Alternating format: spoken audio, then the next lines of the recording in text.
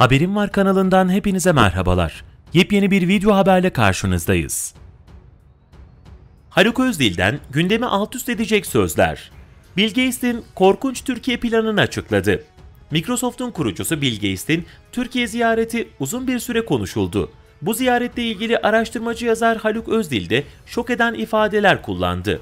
Bill Gates geçtiğimiz haftalarda Türkiye'de Efes'teki Meryem Ana evini ziyaret etti.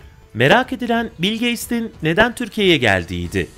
Birçok kişi Bill Gates'in Türkiye'den araziler aldığını ve çiftlik kuracağını düşünüyor. Fakat planın hiç de öyle olmadığı ortaya çıktı.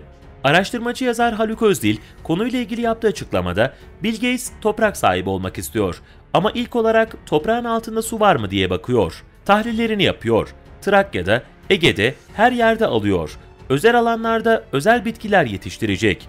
Bunu insanlık için değil, kendisi için yapıyor.